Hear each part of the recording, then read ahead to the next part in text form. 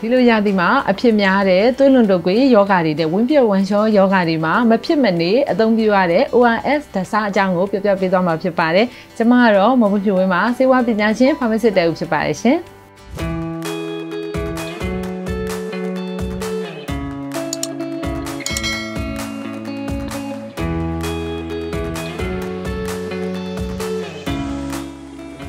ORS ဆိုတာဘာလဲတက်စားမှာဘာတွေပါလဲဆိုတာကိုမသိသေးတဲ့သူတွေအတွက်ဒီနေ့မှာပြောပြပေးသွားချင်ပါတယ် ORS ရဲ့အရှိက oral rehydration source ပါခန္ဓာကိုယ်ထဲမှာဆုံရှုံသွားတဲ့ရေဓာတ်တွေစားဓာတ်တွေကိုပြန်လဲဖြည့်ဆည်းပေးတဲ့ပါဇက်ကနေတောက်ရတဲ့အရည်တစ်မျိုးဖြစ်ပါတယ်အဲ့ဒီဓာတ်စားမှာဘာတွေပါလဲဆိုလို့ရှိရင်ဆိုဒီယမ်စစ်ထရိတ်ပိုတက်ဆီယမ်ကလိုရိုက်ဆိုဒီယမ်ကလိုရိုက်နဲ့ဂလူကို့ဆိုပြီးတော့၄မျိုးပါပါတယ်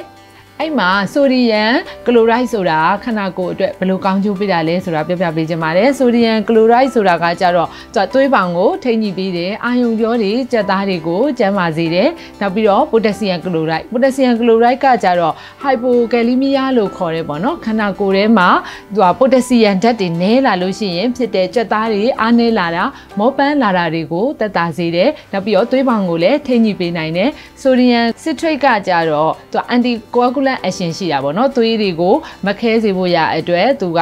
အာကာကွယ်ပေးနိုင်တယ်နောက်တစ်ခုကကြောက်ကက်ကြောက်တယ်တာမျိုးမဖြစ်အောင်လဲသူကကာကွယ်ပေးနိုင်တယ်အဲ့လိုမျိုးအရှင်ရှိတယ်နောက်တဲ့ glucose ကကြတော့အားလုံးသိပြီးတဲ့အတိုင်းအချိုဓာတ်ပေါ့နော် ORS ဒစားတစ်ထုပ်မှာဆိုလို့ရှိရင် WHO က recommend ပေးထားတဲ့ formula အတိုင်းပဲထုတ်ရတာဖြစ်တယ်အဲ့ဒီ recommend ပေးထားတဲ့ formula မှာအရင်တော့ကပေါ့နော် O formula နဲ့ဆိုလို့ရှိရင် sodium chloride က3.5 gram potassium chloride က1.5 gram sodium citrate ကတော့2.9 gram glucose က20 gram ပေါ့နော်အဲအဲ့ဒါက O formula ပါအခုထွက်လာတဲ့ new formula နဲ့ဆိုလို့ရှိရင် sodium chloride က2.6 gram potassium chloride ကတော့အတူတူပဲ1.5 gram sodium citrate ကလည်းအတူတူပဲ2.9 gram 2.9 gram ပေါ့နော်နောက်ပြီးတော့ glucose ကတော့သူကနည်းသွားပြီ30.5 gram ပေါ့နော်အဲ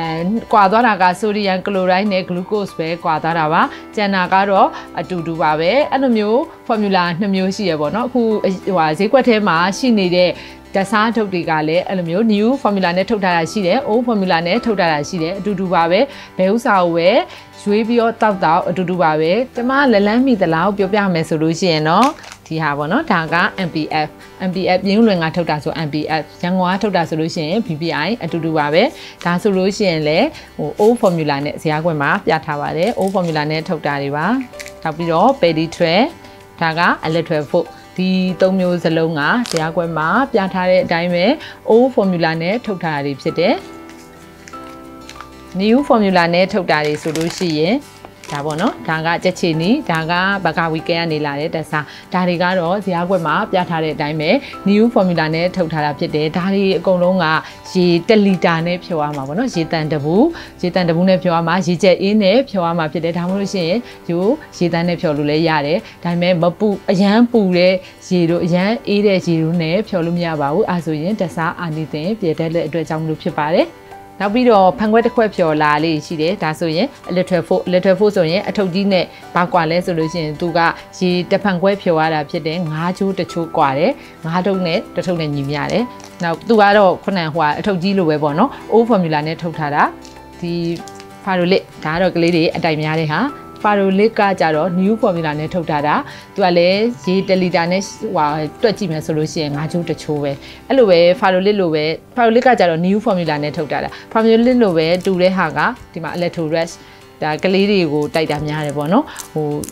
တစားတိုက်လို့မရတဲ့ကလေးတွေအတွက်ဆိုလို့ရှိရင်ဒီလိုမျိုးလေးထင်အောင်ထင်မှာဖြစ်အောင်ချိုရည်ဘူးလေးလိုမျိုးထုတ်ထားတဲ့ဟာသူကလည်းတစားအနေနဲ့အပြေးဝပါတယ် new formula နဲ့ထုတ်ထားတာဒီဟာကလည်း new formula အတိုင်းပဲထုတ်ထားတာ200မေပါတယ် ဒါတွေအကုန်လုံးကတော့ဗောနော်တတိထားရမယ့်အချက်ကတော့ဖြော်ပြီးတဲ့အချိန်24နာရီအတွင်းမဲ့အသုံးပြုရမှာဖြစ်ပါတယ်ဒီလိုမျိုးဘူးဆိုလို့ရှိရင်လည်းဖောက်ပြီးတော့24နာရီအတွင်းမဲ့အသုံးပြုရမှာဖြစ်ပါတယ်24နာရီကျော်လို့ရှိရင်ဆက်အသုံးမပြုရပါဘူးနှုတ်ပြရမှာပဲဖြစ်ပါတယ်နောက်ပြီးဈေးကွက်ထဲမှာအသုံးများနေတဲ့စီးစုံတက်စားပေါ့နော်ဒါမျိုးလေးတွေဒါမျိုးလေးတွေမှာလည်းတက်စားအနိသင်ဘလောက်ပါလဲဆိုတာကိုဘုသူတအနေနဲ့ပြောပြချင်ပါတယ်ဒါကတော့ရေတဖန်ခွဲဖြော်ရတဲ့အထုပ်ကလေးတွေပါသူ့မှာဘလောက်ပါလဲဆိုလို့ရှိရင်ဆိုဒီယမ်ကလိုရိုက်က0.3 114 gram ပါပါတယ် နောက်တစ်ခုက potassium chloride ကတော့0.00027 gram ပါပါတယ်။ sodium citrate ကတော့0.00115 gram ပါပါတယ်။ glucose ကတော့4.7 gram ပါပါတယ်။ဒီလိုမျိုးအထုပ်တွေနဲ့ပေါ့နော်ရှင်းကြည့်မယ်ဆိုလို့ရှိရင်တော့ glucose ပမာဏကများတယ်။ကျန်တဲ့ sodium ပမာဏတို့က